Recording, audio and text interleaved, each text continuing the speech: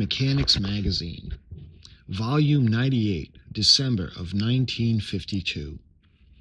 This month's cover Christmas is a time for many things. The sparkling gaiety of the special tree and the deep, rich tones of church chimes ringing out the age old hymns. Best of all, perhaps, Christmas is a time when members of the family draw quietly together again, when a good warm feeling goes with every family activity. Our cover shows a scene that will soon be duplicated in thousands of American homes in one way or the other. Dad and son are working as a team on a special project, one they can't seem to find time for during the rest of the year. It could be almost any project, but in this case, it's something extra special. A 36 inch model of that new Queen of the Seas, the SS United States on page 182. This is the first of a series of articles on building this beautiful model. The series includes complete plans for the ship, from the keel to the crown of the super smokestacks. It's a project well worthy of any father son team. Why not launch it during the holiday season? In this issue, for the craftsman, 36 inch model of the SS United States. Part 1 Model makers throughout the world have been eager to start modeling the new Speed Queen of the Seas, the SS United States. To fulfill their requests, the editors of Popular Mechanics commissioned Mr. Robert G. C. Fee, model engineer at the Newport News Shipbuilding and Dry Dock Company, builders of the actual ship, to prepare the necessary plans. Popular Mechanics herewith is proud to present the first in a series of exclusive construction articles on building a 36 inch scale model of America's mighty superliner. A blue ribbon winner in her maiden Atlantic crossings, the United States established a record breaking eastward run of three days, 10 hours, and 40 minutes, knocking some 10, 10 hours running time between New York and Southampton at an unheard of speed of 41 land miles per hour. Combining aluminum with steel to help reduce her weight and increase her speed, the United States weighs some 30 gross tons less than her famous British rivals, the Queen Mary and the Queen Elizabeth. While built in a record breaking time of only 1,031 days from some 1,200,000 blueprints, the combined man hours were enough to construct 6,000 average size homes. You have a choice of building a waterline model as pictured at the top of the page or a keel model as detailed in the plans. This model to be described includes the entire hull, but if a waterline model is preferred, it's a simple matter to omit the lower half of the two-part hull and work from the waterline up. In either case, the completed model is mounted on a finished baseboard and keel type model being supported by two brass turnings.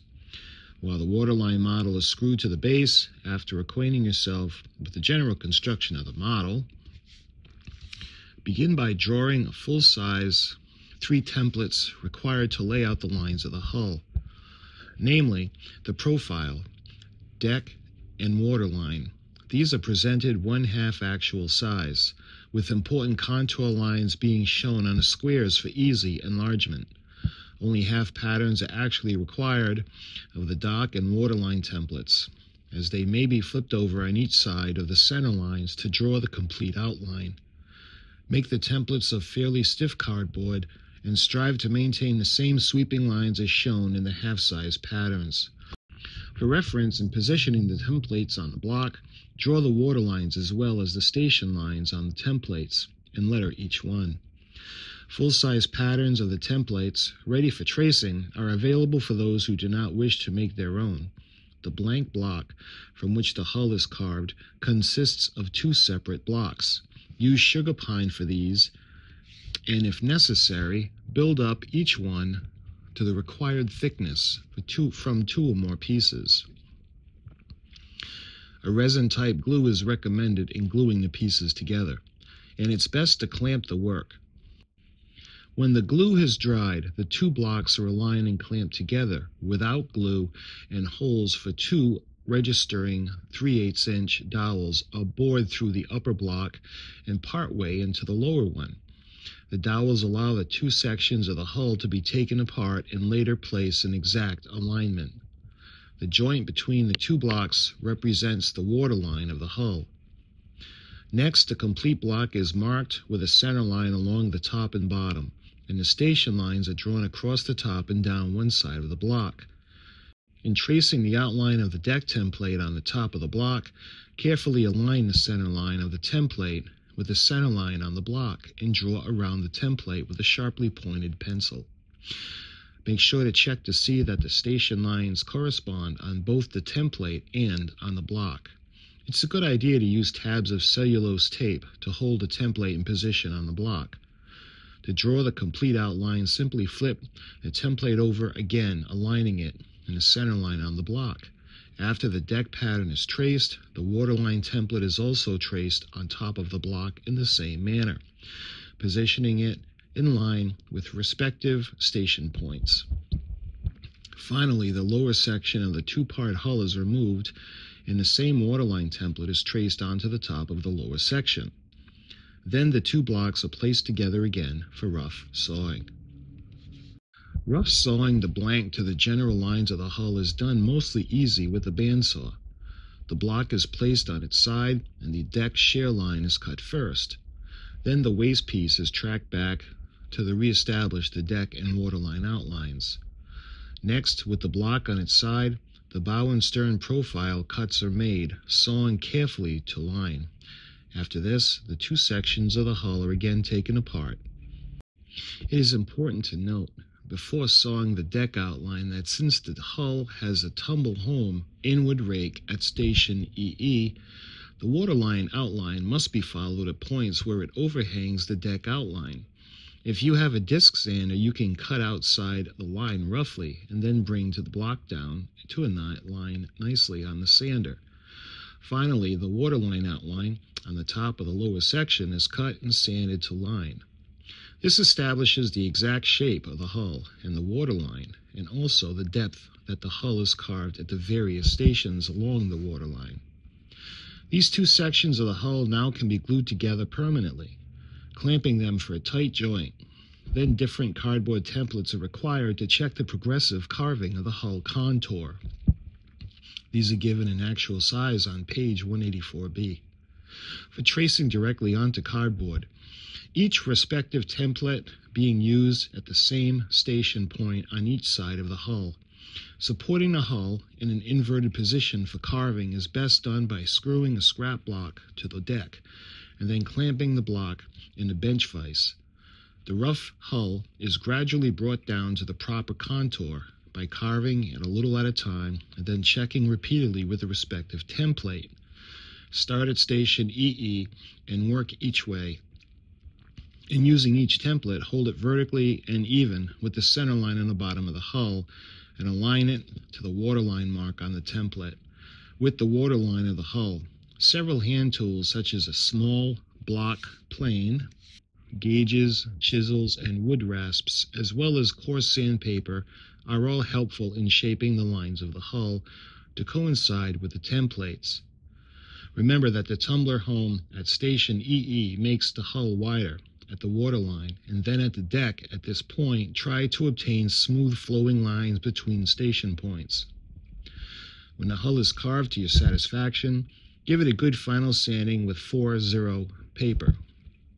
Part 2 will describe cutting in various lifts comprising the superstructure, adding the propeller shaft housing and rudder, shaping the stacks, installing the anchors, and painting the hull with an initial coat of sealer. This will be continued next month.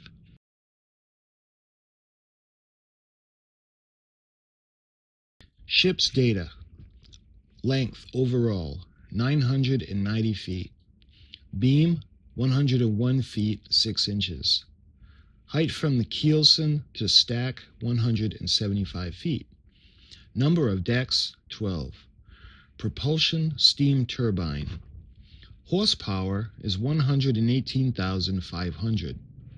Screws, quadruple 9 foot blades.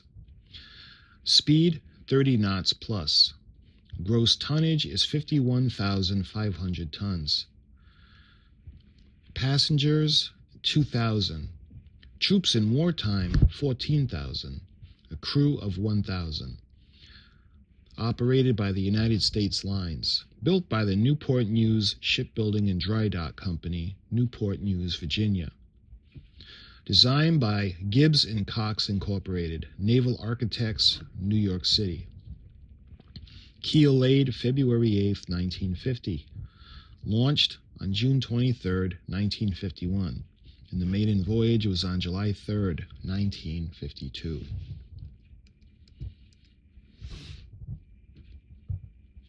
The painting schedule. The hull, or boot topping, is red. The stripe above the boot topping is white.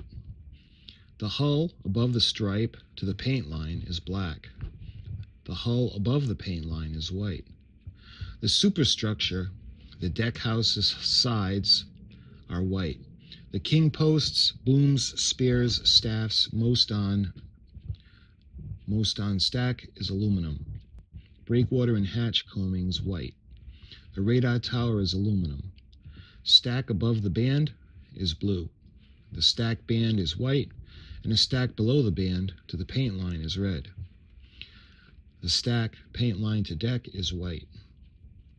Decks and tops of houses. The upper deck is dark green, promenade deck and the sun deck dark green.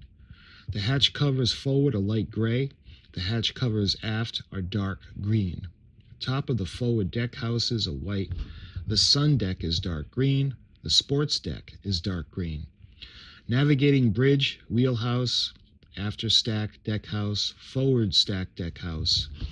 Dark green forward and aft are white. Top of the wheelhouse, aft of rail area is dark green. The wheelhouse top within the rail area is white, and the top of the houses is white. Fittings and miscellaneous. The rail cap is aluminum. Rail and stanchions other than the cap is white. The bitts are black. The winches are medium gray. The capstans are medium gray. The anchors are black. The lifeboats are aluminum. The boat davits are white.